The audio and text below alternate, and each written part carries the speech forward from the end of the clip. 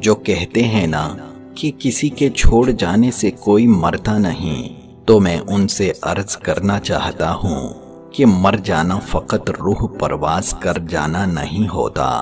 एहसास का ख़त्म होना, मुस्कुराहटें भूल जाना, ज़िंदगी की रंगीनियाँ बेरंग लगना, कह कहूँ से वहशत होना, अकेलेपन को मुकद्दर करना, खामोशी को दिल से लगाना।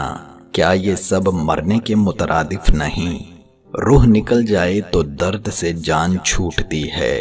मगर खुदा की कसम, जीते जी मर जाना बहुत अजाब देह होता है।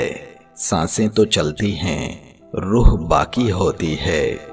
जिसम भी होता है, मगर ना ज़िंदगी होती है, न ज़िंदा रहने की लगन।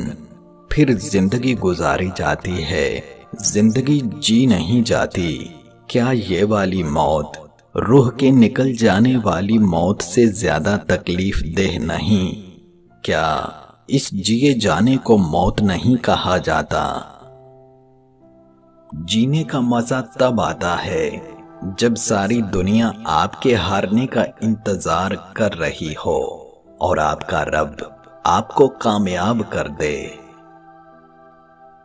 मौलाना रूमी रहमतुल्लाह अलैहि फरमाते हैं, मैं अपने दोस्तों से ना तो दिल से और ना ही अपने दिमाग से प्यार करता हूँ। हो सकता है मेरा दिल रुक जाए या मेरा दिमाग भूल जाए। मैं उनको अपनी रूह से प्यार करता हूँ। रूह कभी नहीं रुकती और ना ही भूलती है।